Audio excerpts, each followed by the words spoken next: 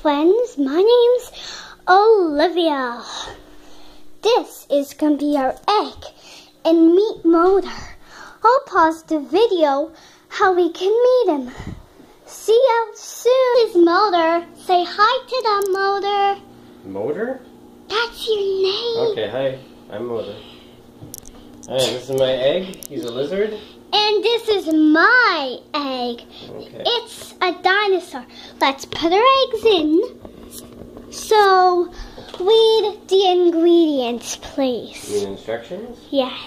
Put the egg in a container and fill with water and to cover the eggs. The water temperature has to be under 35 degrees Celsius. The egg shell will slowly start breaking after 12 to 24 hours and pet will hatch out of the shell. Keep the container full of water. Gonna make sure the water is 35 degrees Celsius. This is our eggs. Say hi to our eggs, everybody. And we gotta recycle all this I, stuff. I'm gonna call my egg Ginger. What would you like to call your egg, Motor? Um, I'm gonna call her Ninja Lizard. Ninja Lizard. Cool.